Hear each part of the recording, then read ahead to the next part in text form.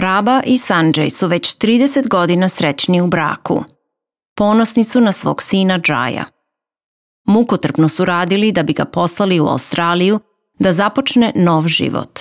Njihov mukotrpan rad se isplatio. Džaj je vredno učio i našao dobar posao, a i lepu nevestu Lakšmi. Džaj je predložio roditeljima da se dosele u Australiju. Život ovde je dobar. Mogu da udruže sredstva, kupe kuću i žive svi zajedno. Oduševljeni mogućnošću novog života sa sinom, Sanjay i Praba su sve prodali.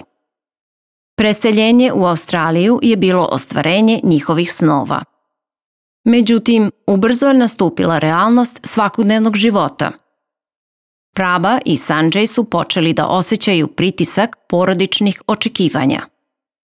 Od Prabe i Sanjaya se očekivalo da pripremaju sve obroke i da domaćinstvo održavaju čistim i urednim. Osećali su da ih uzimaju zdravo za gotovo. To nije bio život kojem su se nadali. Redko su viđali sina i nisu stekli nove prijatelje. Osećali su se usamljenim i pod pritiskom. Povratak u Indiju nije dolazio u obzir. Sav novac su potrošili pomažući sinu. Osim toga, nikada nisu pretpostavljali koliko je skup život u Australiji.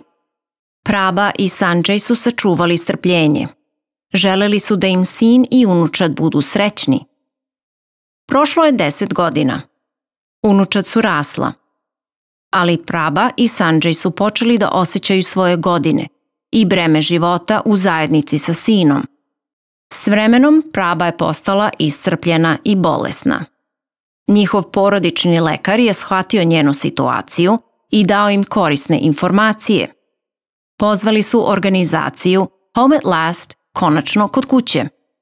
Osoba sa kojom su razgovarali ih je umirila i rekla da može pomoći. Objasnila im je da može pomoći da dobiju državni stan.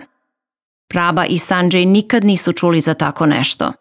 Nakon što su razgledali nekoliko stanova, Praba i Sanjay su našli jedan koji im je savršeno odgovarao.